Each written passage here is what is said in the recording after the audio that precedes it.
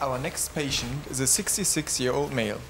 He was diagnosed with an atrial septal defect with significant left to right shunt in April 2013. He presented with symptoms of vertigo. His concomitant diseases are pulmonary emphysema as well as multiple gastric ulcers, which were treated by partial gastrectomy. ECG showed sinus rhythm with a heart rate of 66 beats per minute and marked left axis deviation. TTE showed normal LV and RV function with left ventricular hypertrophy. The right heart was dilated, mild tri tricuspid regurgitation with a systolic pulmonary artery pressure of 41 millimeters mercury was also seen. TEE showed a secundum atrial septal defect with left to right shunt and a positive bubble study. Great. Okay, okay. okay. I think we'll start with the right heart catheterization first. The sheath is in place in the right uh, femoral vein. And I'm going to use a multi-purpose catheter for this, which I have to get used to because I'm not used to that from uh, where I'm from. We use the Swan catheter for that. Um, but let me see if I can get it.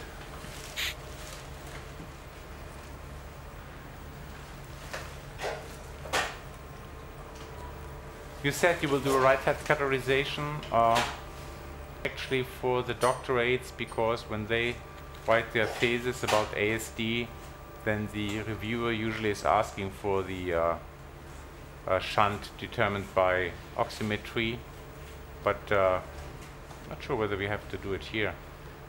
Do you want to uh, skip it or? Well, if you want to show how to, to I, I, better not because I won't succeed then probably yeah. if I want to show it. Okay, so how to how to do right heart catheterization with a multi-purpose catheter? That's uh, something not everybody knows. So he's using a, a regular um, J wire, emerald wire. You should actually advance the wire more up until you feel some resistance. The tip of the catheter should be at the lower edge of the atrium. And when you feel resistance, then advance. no, no, keep the wire up. Keep the wire up.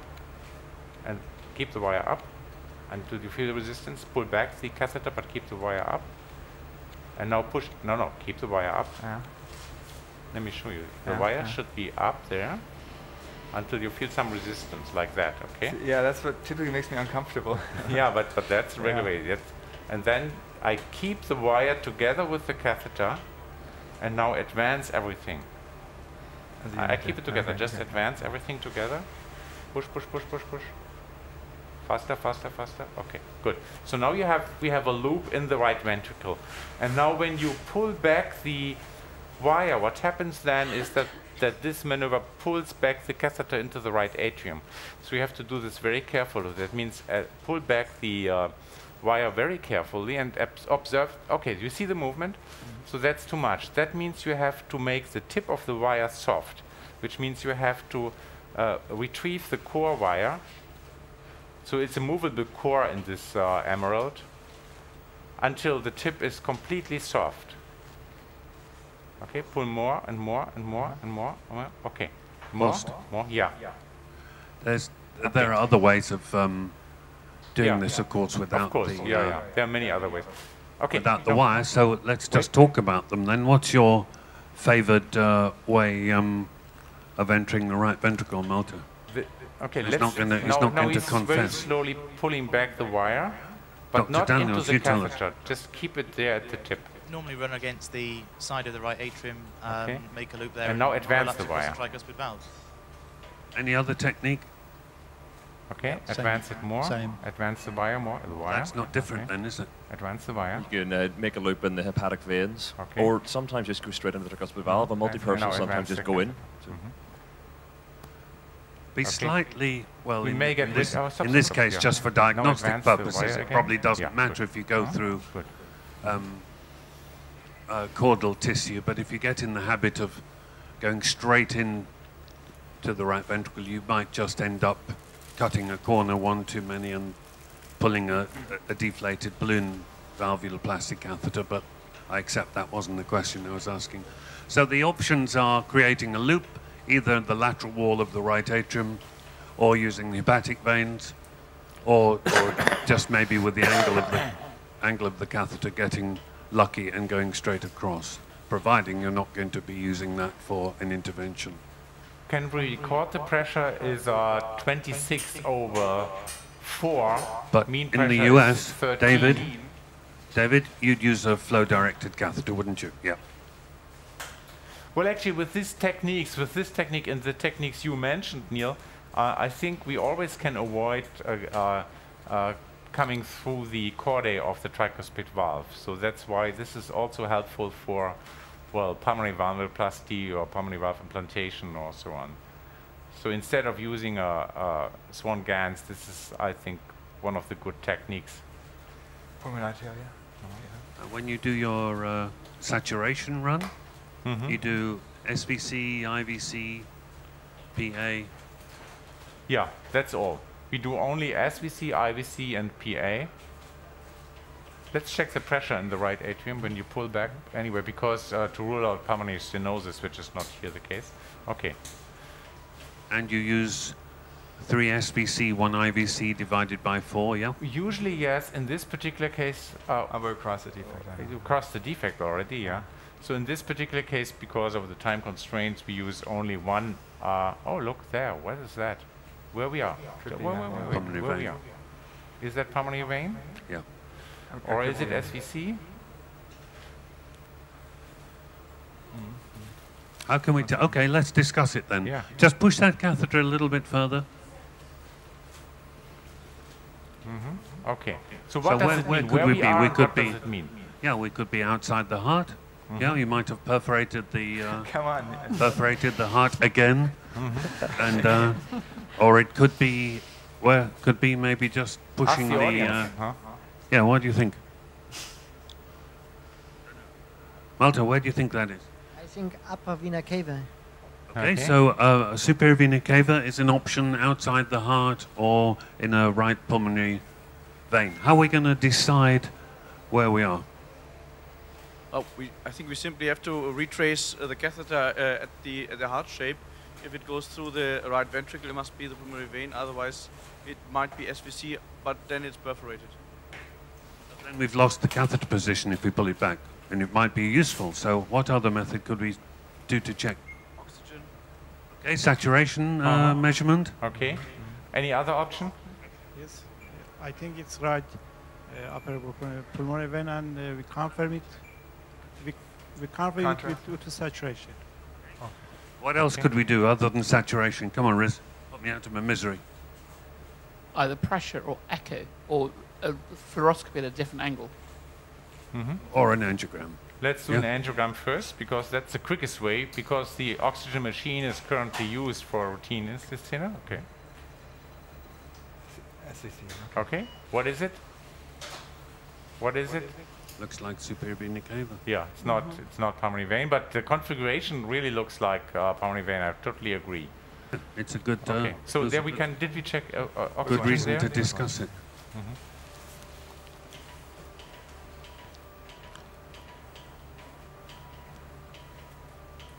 Stefan, just try advancing the catheter there, please. One second, yes, I will in just a moment, just a moment. Oh, you're doing the saturation. Yeah. This is uh, super, So advance the catheter, okay. Why, Neil? Go on, advance. Advance. Well, I just want to show general, engage the uh, innominate vein. Too high there. Pull back, yeah. Yeah, that's not the anomaly, that's subclavian. But Stefan, I just wanted you to for? show a bit of basic catheter manipulation. So if you withdraw the catheter a few centimeters and then have the tip of the catheter point towards the left shoulder and advance, see if you can uh -huh, engage uh -huh, the innominate uh -huh. vein. Okay. Lower, lower. lower. lower. Lower. That's it. You just passed it. Just pass it, huh? How do you know that? Years of experience. How's Come that? on, Stefan. There we go. Okay. Mm -hmm. Okay, so that's all. you you can get on with it now. All right, all right. Sorry, comment here from uh, mm -hmm. Dr. Morgan. Mm -hmm. Just a quickie, but if you're doing the diagnostic cath to measure the shunt, uh, we do. What's the pace, What's the FiO2 the patient's on? And the other thing is, if you're in the innominate vein, it's useful to do a saturation in case there's an anomalous pulmonary vein, so you can check the innominate vein saturation compared to the SVC. Good points there. So FiO2, I presume, is air. Uh, one yep. second, we can tell you. Uh, has Sauerstoff 95. Uh, yep, it's air. It's air, and the saturation is 95%. Uh, did you take the comment about measuring saturation in the innominate vein I, I just hear, in case? I didn't hear the last one. Can you repeat that? There's a suggestion that yes. if you get to innominate vein, it's uh, worthwhile measuring the saturations, because if there was an anomalous, a single anomalous pulmonary vein, which isn't well, it's not common, of course, but uh, you will come across it now and again. You might get a high saturation in innominate vein. Uh-huh. And the other thing we uh, often check is a quick angiogram in the innominate vein because, not particularly in this situation, but if the child was going to go to surgery and you hadn't picked up, it's possible you could miss a left superior vena cava. Uh, that's a relatively common uh, accompaniment of many uh, of many congenital heart abnormalities, and of course it would have implications for bypass I surgery. See. So it's a good point made uh, there. Okay. Okay. Come on, Stefan, get a move on. It's your second case already. You must yeah, be just, expert I'm waiting now. for your discussions, though. So now he will try to cross the uh, defect. Okay, uh -huh. looks good.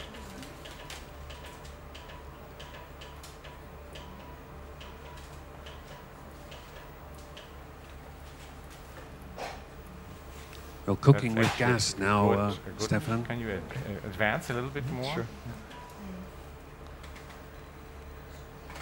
For a moment, more? anyways. Yeah. Even more. No, I, think, I think that's a good position now. Okay, now we can use. Can we have the Amplatz extra stiff, please? And then we need the uh, sizing balloon.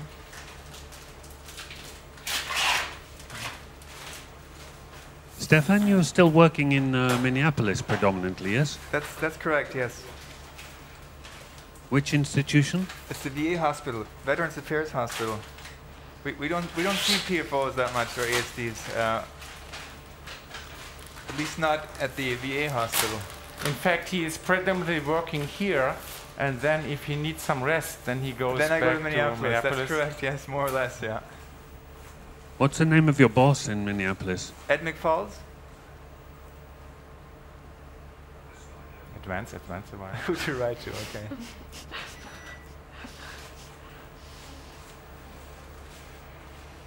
Mrs. Hasse,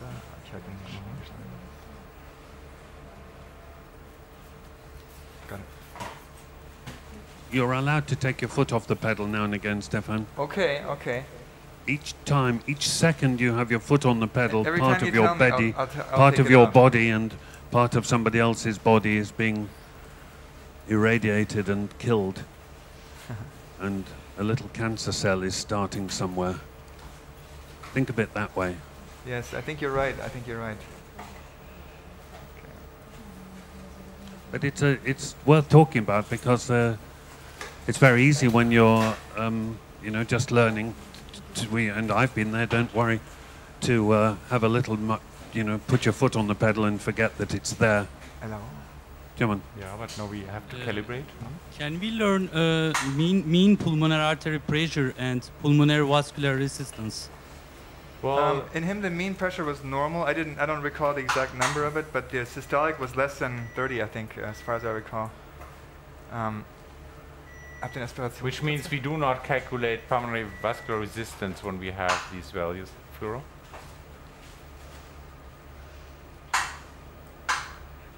Okay. Mm -hmm.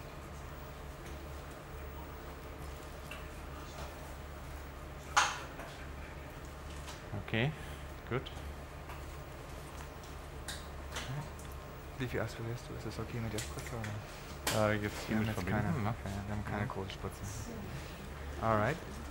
So now he's de-airing the uh, balloon, connecting again the manifold to the lumen of the balloon. We have 50 range on the pressure recording. That's enough. Yes, yeah. Okay, good. Now you, you don't see any pressure, which means uh, we have to inject 1 cc of saline into the balloon, because only then we will be able to see the pressure. Okay. Who's uh, doing the echo? Uh, echo is not there yet, but uh, who is doing the echo? I, think I am Bushra. Bushra huh? and um, I am. Bushra yeah. and, and Ilona? Ilona, okay. yeah. Ilona? Both of you. And Bushra, okay. yeah. Bushra. Bushra, when, yeah. are you going, when are you going to pass the uh, uh, probe? We're just about to do it now, I think. Okay, let's do the balloon sizing now. So, uh, let me go forward a little bit, huh? Stop, Fluoro. Yeah. Remember what Neil yes, just told you? Huh? Advance the balloon a little bit more. This is an ASD, so it's a bit trickier. Yeah. And actually, it's uh, uh, very important to start with the balloon inflation in the left atrium and not at the level of the septum. Further? Yeah, yeah further. What's the... Uh, Do you feel resistance? Yeah. Okay, so he feels resistance. So the wire is in place and he cannot advance the balloon anymore. And that sometimes there's friction between this wire and the balloon. So you should move the wire about five millimeters up and down. No, no, just move the wire. Mm -hmm. Just move, just move What's the wire in and out. Just okay. can anybody can anybody tell me what this okay. is? Can you advance the balloon now? What's this? I don't yes. know myself. Yeah? Horst, what's this radio opaque? Yeah, it, it looks like, look, looks like a device, but it's not a device probably. It's an electrode from the EKG or something like that. It's a funny shape for yeah. them. Yeah, it is. I don't know what it is. Can we remove? Julia is checking.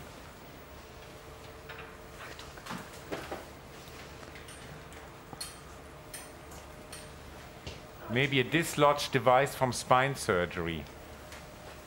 Embolized. Embolized device from spine surgery. Okay, Bruno? Okay. okay, so now we can actually start inflating the balloon. So now it's important to keep tension. That means uh, to advance the wire until you feel a little bit resistance and also keep the balloon in position. You may advance the balloon a little bit more to have it at the really in the left atrium. Advance it more. Uh -huh. So now I have too much contrast here, so I will exchange for saline keep the balloon up. Mm -hmm. Fluoro. Uh -huh. Okay, I'm inflating the balloon. Be ready to thinner as uh, before the balloon moves. You should thinner before the balloon moves. Take it back. Okay, now you can advance the wire and slowly pull back the balloon until you see the waist. Pressure is okay, yeah. Pressure is still okay, yeah. Seems to be a small defect. Okay, now you can, uh, we can actually can advance Deflate the wire and pull back the balloon very gently, but observe the pressure in between. Uh -huh, uh -huh. You see a little waist arising there. Can pull a little bit more. Let me deflate the balloon a little bit because it's probably too full. Okay, thinner. Okay, that looks good, but we will continue it. The pressure is rising, so don't pull more. No, I'm no. deflating the balloon a little bit more. Uh -huh. Too much pressure is good now.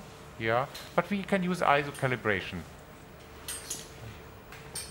Come back a little Okay, pull back. Uh -huh. ISO calibration is uh, faster pressure than using the markers.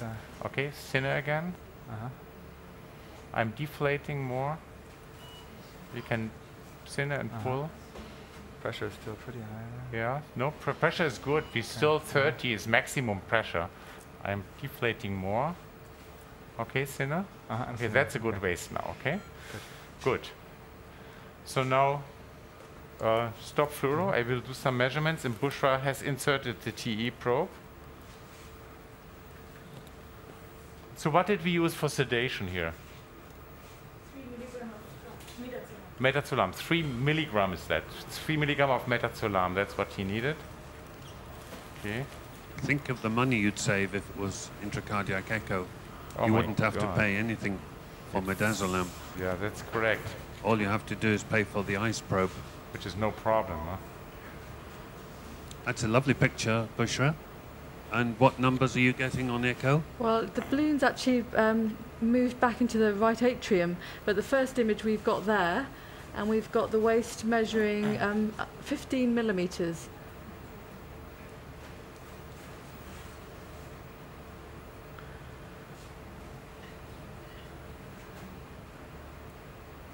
So you see on the fluoro picture that we measured 13. It looks, when I look at echo, I think the balloon is not in position anymore, correct? Yeah. yeah so but that's not, that's yeah. not the image yeah. that Bushra was measuring. yeah, yeah. yeah. This, this, So this the is the balloon one. is slipped into the right atrium now. Yeah, so that's that's the one I measured from, the image you can Mhm. see now. And that's where I got the waist. And color, please. Oh, you've taken it out. Sorry. Yeah. Deflated. Yeah, can It's a little more important to. So Stefan is now deflating the balloon. Yeah. Yeah. Okay. I mean, it's gone a bit quickly, but I just wanted to make the demonstration of flow occlusion and then looking for other other defects.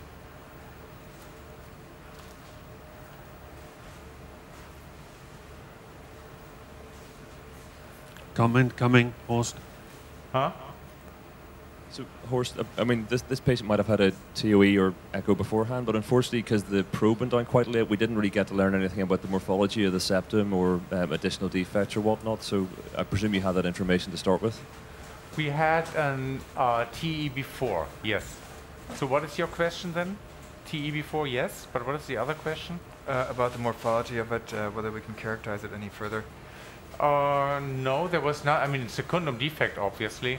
Uh, I don't see any details here on the case description.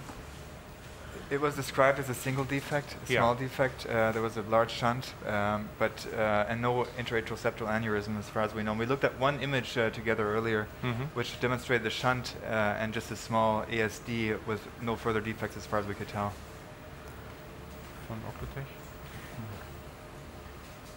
So we have a 15 millimeter defect and a device. Well, pre-selection for the uh, for the uh, Occlutech.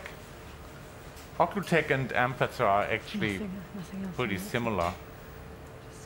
You could probably also get away with the GSO as well, 15. We don't have it in the lab today, but uh, otherwise, yes. Pay attention that the wire stays up there. Pay attention, the wire Yeah. comes down. Looks fine. It's pommy veins.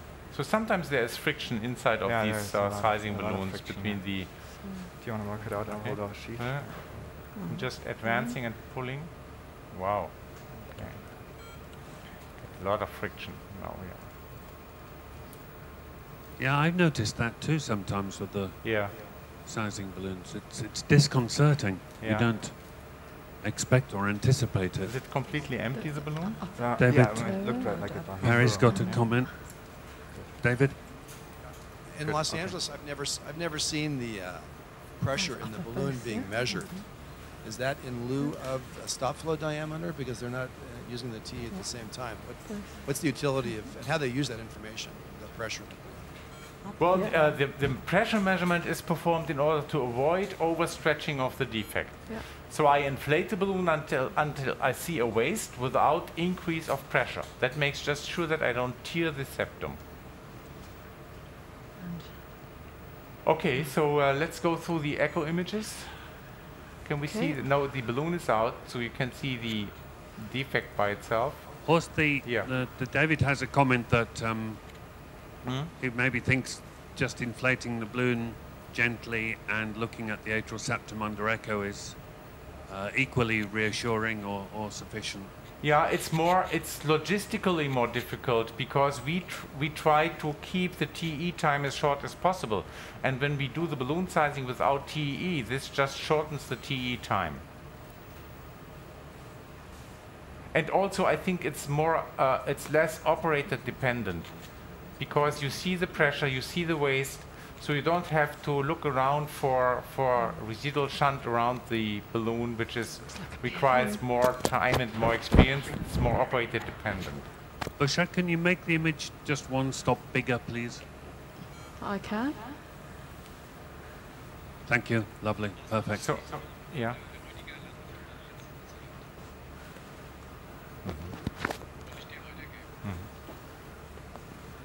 Gründung? Ah, können wir später. And the and the dimension just on its own, uh, Bushra, please, Yeah. if you could. I'm just, I'm just doing all the views and I'm looking for the largest diameter. I do this on colour and I'm getting, so far the largest is 9 millimetres, but I'm still looking. And you, you're going to do a 3D acquisition, yeah? Yeah. I can do that now if you like. I'll just... Yes, please, yeah. Okay, I'll just grab that one image, get that measurement. With a, yeah, so 10 millimeters without the balloon. And then we'll just do a 3D.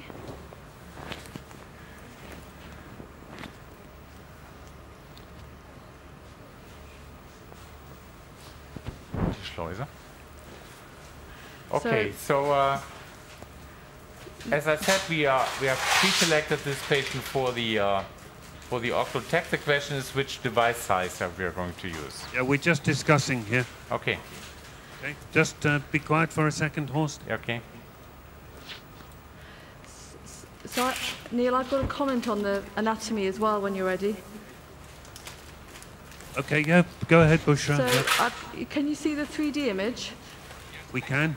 So that's the left atrial view, and um, you can see, so the mitral valve is here. This is the right upper pulmonary vein coming along here. So in front of us, that region here where you can see some dropout is a fossa ovalis. You can see the wire through the, what actually is a glorified PFO in fact.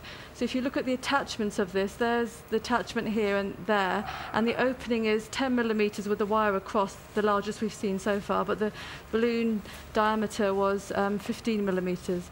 And this is really, it's acting like a, a secundum type ASD, but actually this is a glorified PFO with an aneurysmal septum. I don't know what just, Professor Sievert thinks of that. Got a comment. We got a comment from Carsten.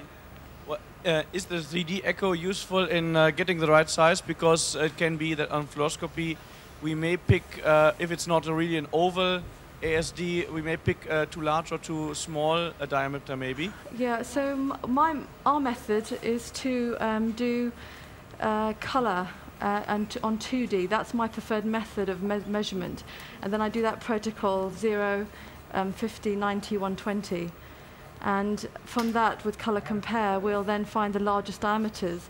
And then I compare that to the 3D anatomy with the images that I just showed you. I don't actually like to do it on 3D. I know that there are some that do, and I think it just very much depends on what you're used to doing and how that equates to yours, because we don't balloon size. So that's my method, and you know, tried and tested. So I trust that. And you've never had an embolization? Um, we have, we've had one embolization, and that was when we balloon sized. Good answer. Bushra, could we just see that 3D picture you have at yeah. uh, number 20 something? Yeah. Please. This one? Yep. Mm -hmm. Yeah. So. Just make that point again about glorified. So there's PFO. the wire. Yep.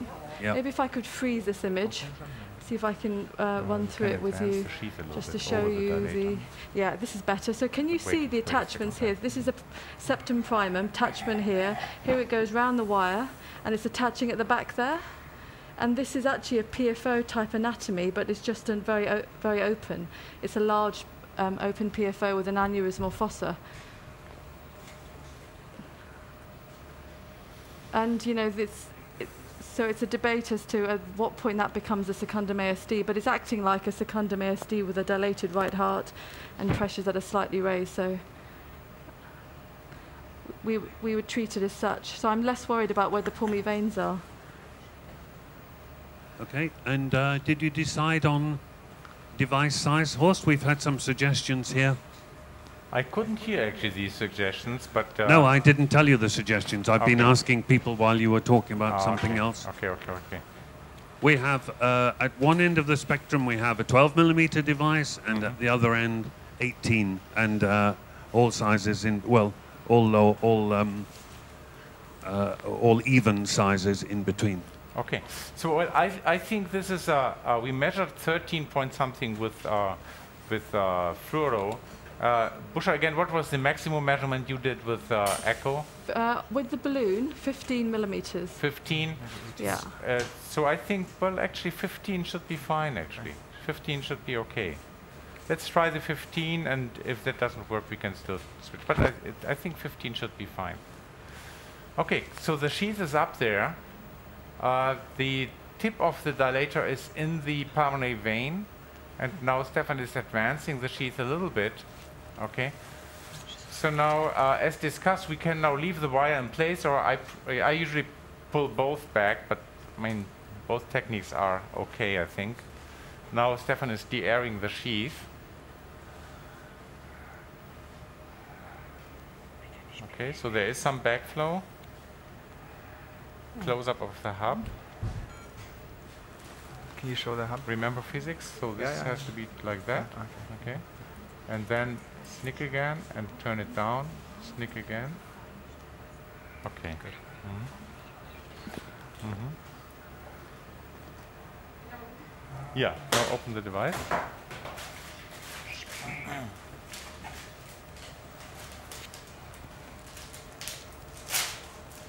Kann jemand kurz das Bein äh, gerade schieben? Okay. So Horst, you decided 15, yeah? Yeah. yeah. I think this was the mean of, or a median of all suggestions, right? Yeah, yeah, okay. Mm -hmm. So patient is a little Stefan, Stefan Yes. chose that number, did you, Stefan? Was that your decision? No, no, that's a mutual decision. Mutual decision. Mutual. Ganz wichtig, dass wir es befinden werden. Dann können wir nicht weiterarbeiten.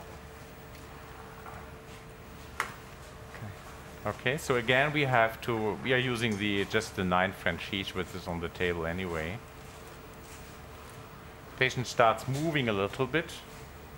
Sorry, question here from uh, Carsten. Yeah.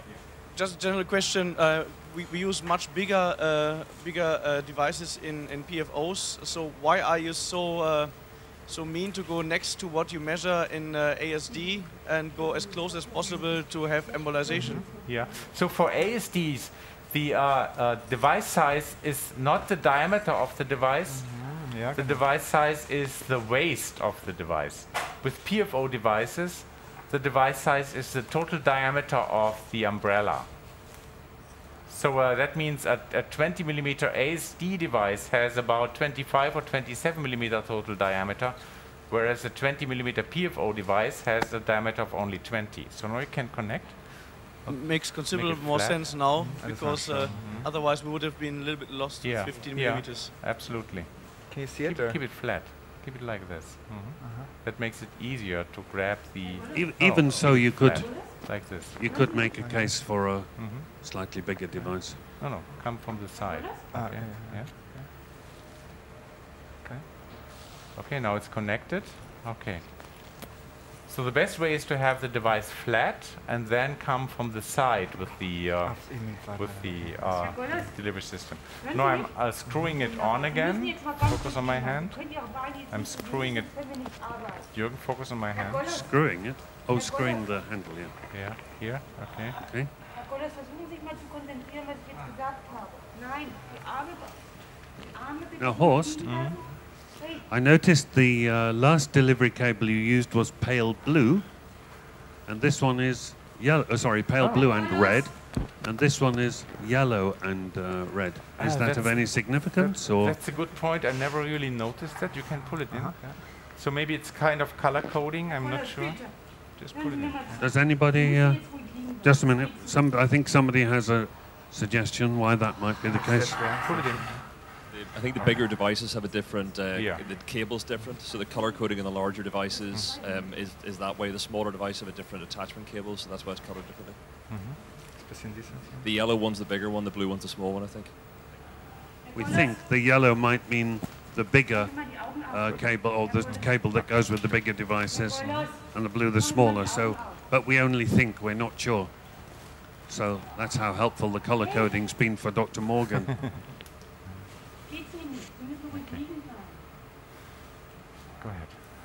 So now he is advancing the umbrella through the. Remember, the tip is difficult to see. Herr Goldhaus, hören Sie mir doch mal zu. Seien Sie mal vernünftig und bleiben Sie ruhig liegen. Das geht so nicht. Okay, so now the tip is uh, at the level of the defect. Julia's doing a good job looking yeah, yeah. after the patient Yeah, yeah, there. he is fighting. probably his grandfather is from the US or somewhere. Okay. Should I come back with the sheath a little Just bit? pull pull the sheath back a little Uh-huh, bit because we are still in the pulmonary vein. Yes. Nein, wir können so nicht arbeiten. Maybe a little bit more. Herr Konrad, das ist doch alles okay. Okay. das doch. Es ist Okay, nicht advance a little bit more. schön. Den Kopf mal nach links drehen, das ist viel einfacher. Okay, now we are, uh, when I look on fluoro, we are just at the orifice of the pulmonary vein. Machen Sie ja ganz wahnsinnig. And now you can basically keep the metal in place and don't advance the whole thing. Pull back the whole thing a little bit. Okay. And now keep the metal in place and pull back the plastic, the sheet. And this will expose the left atrial disc. Okay. A little bit more. Pull back the, the sheet. Pull back the sheet. Okay, so you see the left atrial disc is open. It's far away from the septum. We see this on uh, echo. It's almost at the orifice of the appendage. So you can pull back the whole thing together, everything together, and rotate clockwise because this will align the uh, uh, device to the defect. Rotate a little bit more clockwise, the whole thing, everything together. Okay, to pull a little bit more. Acquire. Also. Okay, looks good. Pull a little bit We are, when you look on echo, you can see that we are about two centimeters away. Now you're close to the pulmonary vein, which is fine. Bushra, can you show us the long axis view at this point, please? Yeah, Keep it I'll there. just get our Long bearings. axis view of the septum. Yeah. And you can pull back the whole thing a little bit more. Uh-huh. Oh, now it's uh, resistance, yeah. I can see that. Can pull back a little bit more. Yeah. Okay, stop. You are close to the defect, actually. Now you should expose the waist of the device, which means uh, keep the metal in place and pull back the sheath. Die Beine schön gut liegen. Expose the central waist. So keep the metal in place, pull back the sheath a little bit more, a little bit more, Yeah. a little bit more. Okay. Just a little bit more. Okay, good. Now it's tilting, that's fine, and you can pull the whole system, everything together, Uh-huh. so that the device is now aligned Uh-huh, to I the it, yeah. septum. You see Uh-huh. this on echo, yeah. okay? And now you can basically ex- deploy the right atrial disk, Mm-hmm. which means, uh, yeah, and advance the metal. Uh-huh. This opens the right atrial disc. Very nice. We see that uh, the septum secundum is in between the two umbrellas, and we also see that the inferior part of the septum is in between the umbrellas. And on the short axis view on the right side of the picture, which is turned around, so on the left side is the aorta. Have some color, please. Yeah, uh, some color, Bushra. please.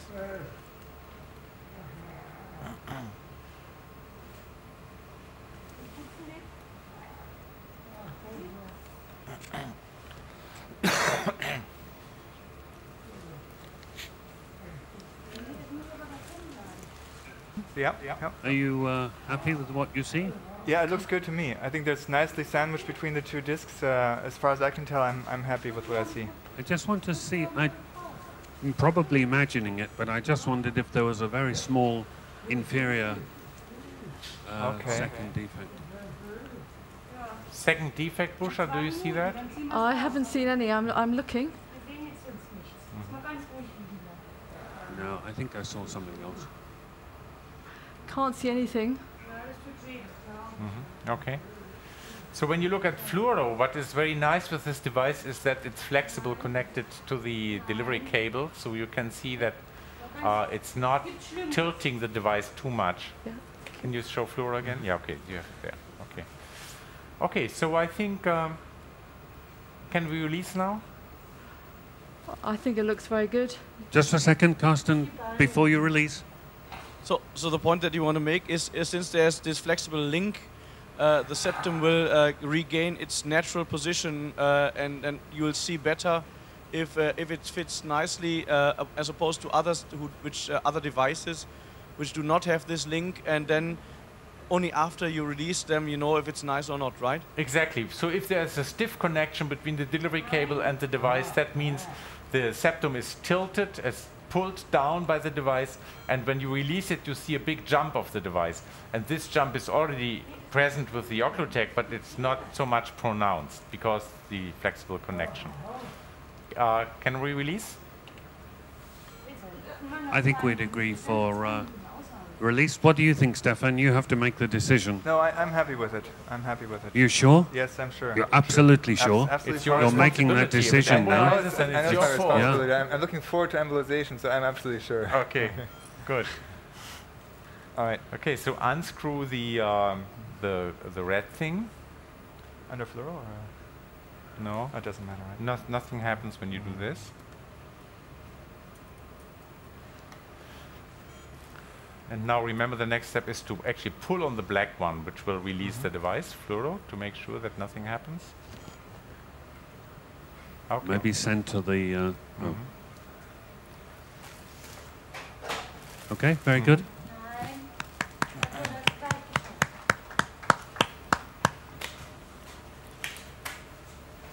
Very nicely done. Great, thank you, thank you. Yeah, Bushra, that's a lovely picture there. Yeah, so the device. Final check with echo. That's release. the left side, yeah. Yeah, left atrial side. So on release, you can see the disc has assumed a nice position on the septum. Mitral valve is here. Uh, right upper pulmonary vein is here. So there's the device sitting oh. beautifully. And if I just turn it around to look at the right atrial side, so here you can see I'll just slightly rotate that to make it anatomical. So there's the SVC, IVC is here, coronary sinus is this thing here, and there's the device sitting nicely on the septum. And then we'll just go to 2D and just do our colour and look around the septum.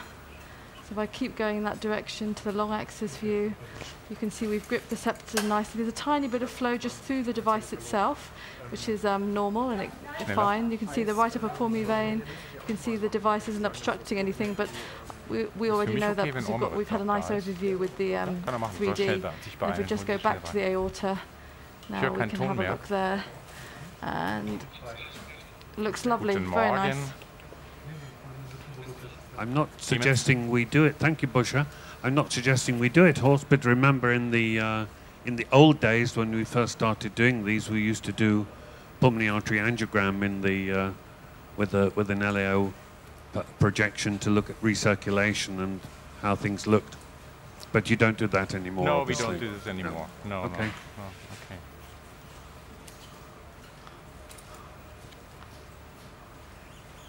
Uh, Okay, let's ask the audience. Neil, can you hear me? Yes, I can, but uh, Carsten was going to make a comment. Okay, or, good. Or mm -hmm. well How important is the sizing, balloon sizing, if you have the echo already? Do you really need it, or could okay. you say every everything between 12 and 18 should be okay? That's Bushra's question. Bushra, did you hear that? No, I didn't. The question was, why bother balloon sizing when you have such beautiful echo pictures? Well, as I said, in our institution, we don't. We use, we do our, all our measurements on echo. Bushra, you must, you, I'm sure in your institution you've done several hundred ASD closures by now, I'm sure, and you've had only one embolization, and that was after balloon sizing. Hello, there you go. Yeah, she does not have enough experience with balloon sizing because she's not doing it routinely. And I know, and we know we don't have enough experience with uh, uh, echo sizing, so that's why we prefer balloon sizing to determine the diameter. So I think both ways exist. There's no no no question about that.